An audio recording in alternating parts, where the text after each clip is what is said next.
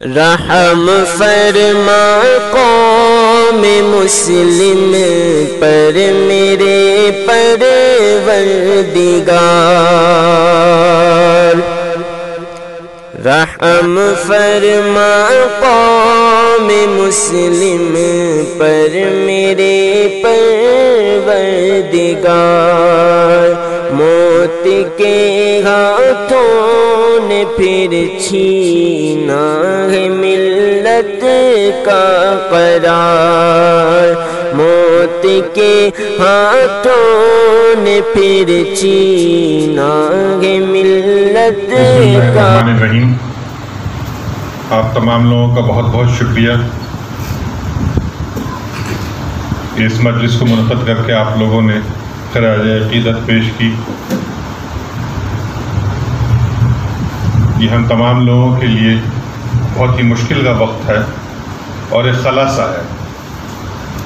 मैं बहुत लंबी बात तो नहीं कर पाऊँगा, लेकिन हाँ इतना ज़रूर बता सकता हूँ कि हज़रत अमीर शरीयत ने हर चीज़ सोच समझ करके और लोगों को उनकी ज़िम्मेदारी बता करके तैयार करके रखा है। बड़ी लंबी तरबियत और बहुत सोची समझी पॉलिसी के तहत चीज़ों को किया गया है। अल्हम्दुलिल्लाह, मैं आपसे वादा करता हूँ कि जो हज़रत का ख्वाब और जो हज़रत का काम, दो अलग चीज़ें, जो हज़रत का ख्वाब और जो हज़रत का काम है इन हम तमाम लोग मिल करके उसको पूरा करेंगे ये किसी एक मीटिंग की बात नहीं होगी। हम अपनी ज़िंदगी, अपने अमल, अपने तमाम भाइयों को साथ लेकर के, चल कर के उस मकाम पे पहुंचाएँगे जहाँ हज़रत पहुंचाना जिन्होंने शुरू किया और जहाँ पहुंचाना चाहते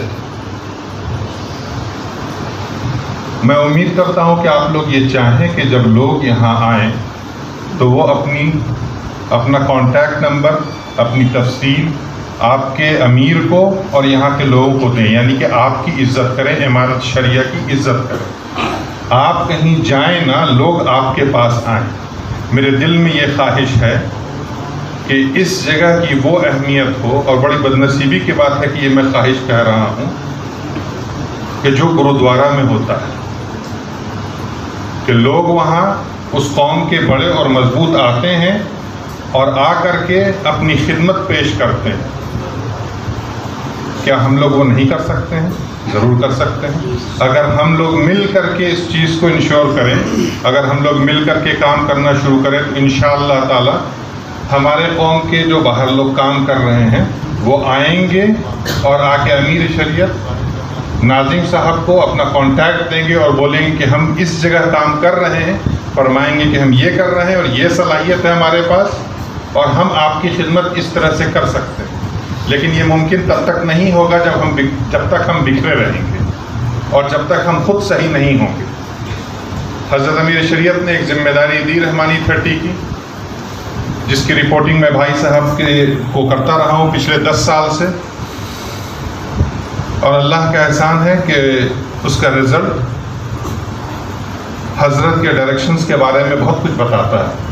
चाहे वो इंजीनियरिंग के लाइन का हो मेडिकल के लाइन का हो या कॉमर्स के लाइन का हो, वो तमाम सलाहियत जो इतने सालों में हज़रत ने, हज़रत की तरबियत के ज़रिए हम लोगों ने अप्लाई की, अब ये वक्त आ गया है कि उस तरह की सलाहियत हज़रत के हर इदारे में अप्लाई किया जाए और लोग जुड़ें और वो आउटकम्स निकले जो अभी तक हम सिर्फ़ रहमानी थर्टी या उस तरह के इदारे से निकालते रहे। जैसा कि मैंने कहा कि ये मेरा वादा है कि इन ताला जो हज़रत का ख्वाब और जो हज़रत का अमल और काम था उसको हम लोग प्रोड्यूस करेंगे इन ताला।